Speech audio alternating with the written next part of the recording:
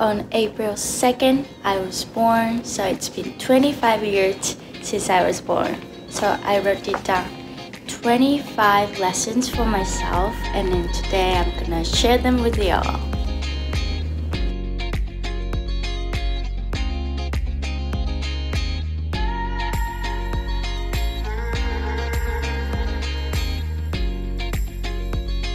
Be the girl who just went for it.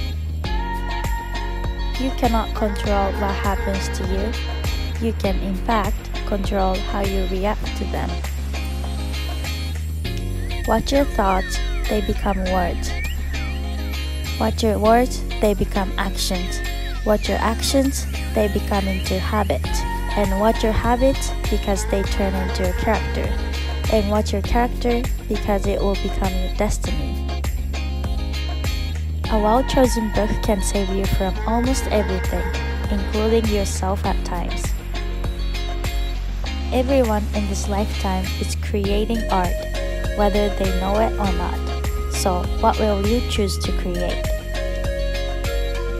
Have enough courage to trust love one more time and always one more time. There is no need to talk about it because the truth of what one says lies in what one does. Growth is painful, change is painful, but nothing is as painful as staying stuck somewhere you don't belong. Your 20s are your selfish years.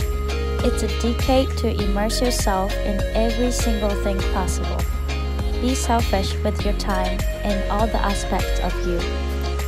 Tinker with shit, travel, explore, love a lot, love a little, and never touch the ground. Date someone who is at home and an adventure all at once. Life is all about balance. You don't always need to be getting stuff done.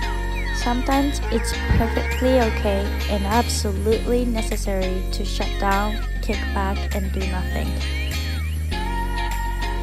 Love yourself, forgive yourself, be true to yourself. How you treat yourself sets the standard for how others will treat you.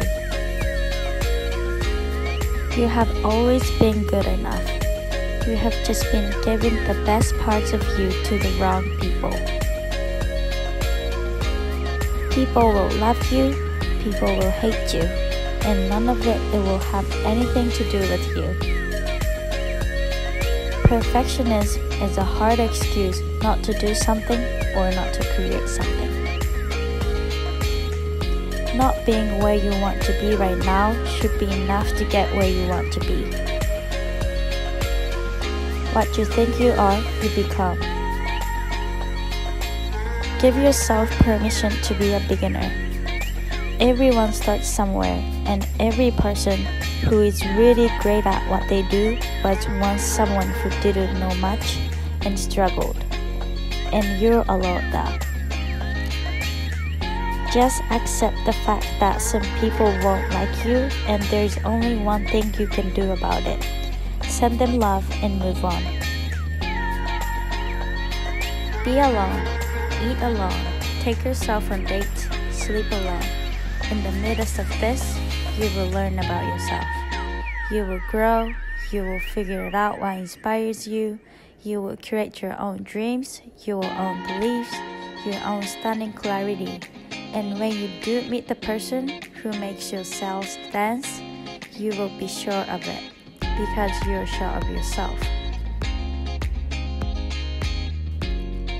I'm learning every day to allow the space between where I want to be and where I am to inspire me, not terrify me.